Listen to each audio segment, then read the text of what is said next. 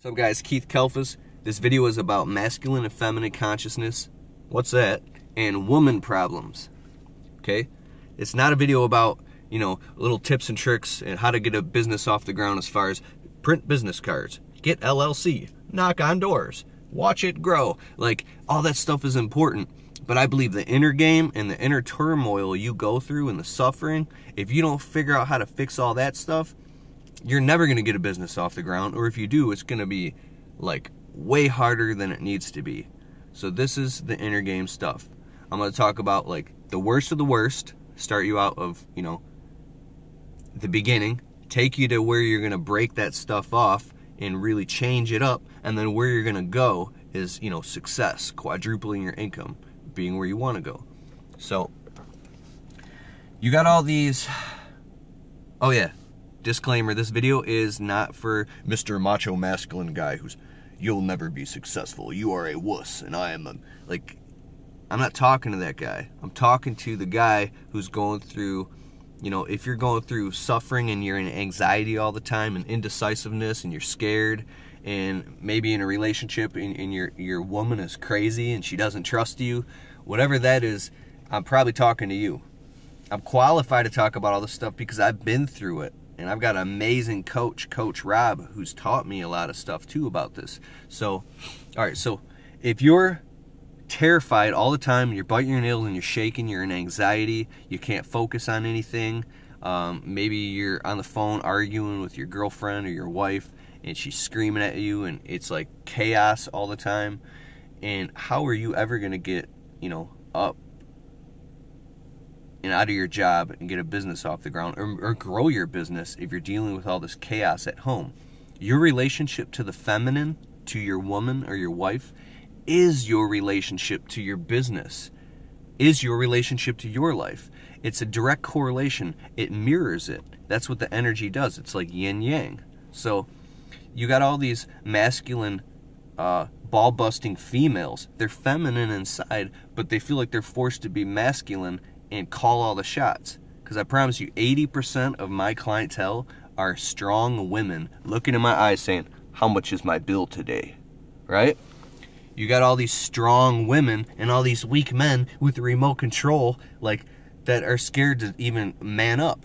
So maybe you were abused as a child. Maybe that you were screamed or yelled at, or you had your masculinity ripped out of you before you even got a chance to grow it, right? Like a little seedling is trying to grow and someone just comes and plucks it and destroys it. There's a lot of things that can go on in childhood to develop.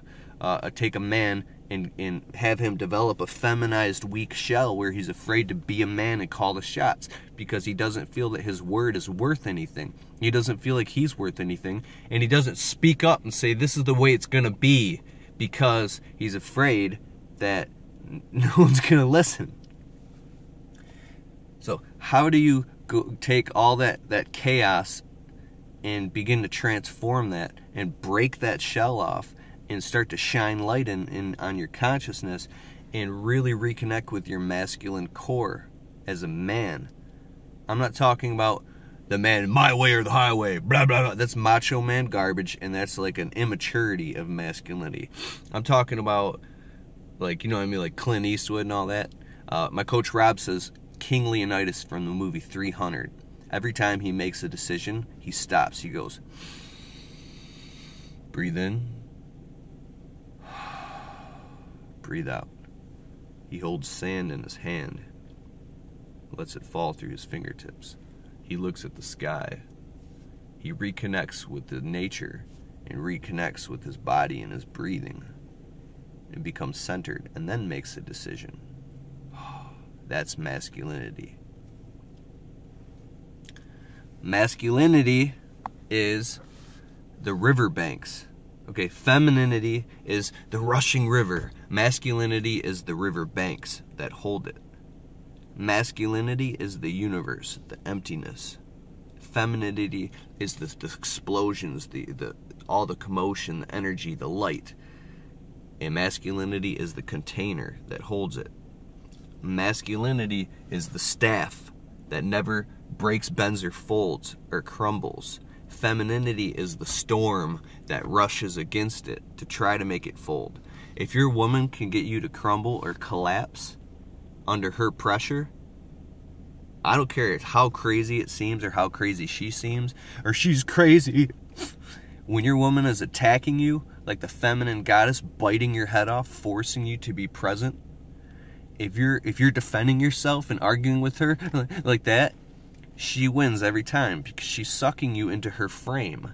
If she can suck you into her frame and you validate her whatever she's going through, that makes you a weak, flaky, untrustworthy, feminized man who can't deal with her. I went through a lot of this stuff. My wife is uh she's Chaldean, bro, and my wife is a tough cookie. So I had a great, great teacher and I was, you know, I was willing to go through this process because there is no better, greater match for me in my life to grow me up as a man than to be with a woman like her. Bam, found it. But your woman might be the woman for you if she's like that because she's challenging you to grow as a man, as a masculine man. So think about this. When you re in touch, get back in touch with your masculine core self.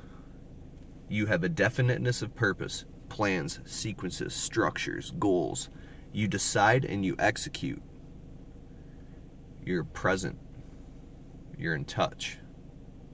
You're centered when your woman attacks you with some crazy stuff, there will be none of this in my environment. like, boom. When you don't let all that leak in and get all over you and all that stuff, now you better have your act together. If you're, if you're like not good and you're, you know, then you deserve it. You deserve it. But if you got your act together and your woman's attacking you, then you can make the discernment. If you're not caught up in some flaky feminized stuff, you can make the discernment of if that's her stuff. If that's her stuff, boom, that's her stuff. You're not going to put up with it. And then when you do that, it's to feel like you're abusing her. I'm not talking about abuse. I'm talking about like emotionally abusing her because you're not validating and being like her girlfriend and all that stuff. When you were like, boom, a strong man with your woman, what's to happen is she's to feel that boundary, and that boundary will give her a sense of space that she can rely on and relax into. Okay? If your woman's wrong and you're sitting there validating her and being a little wussy with her, then you're like one of her girlfriends and she can't trust you. But if you're a strong masculine man that knows when to say no, this is the way it is.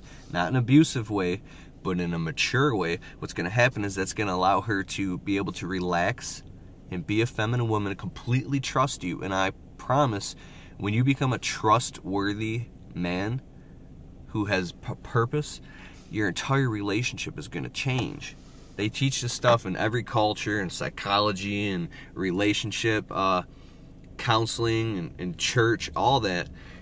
That's like it right there. The masculine feminine dance and the depolarization and the shift of masculine and feminine consciousness, which means that you got these feminized men and these masculized women. When you can get back to your core, your woman can back to her core. Why is this so important in running a landscape company? This has nothing to do. It has everything to do with running a landscape company or any type of business. It has everything to do with being a man because when you can get things right with yourself and right at home, take a breath and get in touch with your core that's when everything else and the how to's just begin to fall into place. So I hope you got something out of that. You know, I really care about you. I want you to be successful. I'm serious.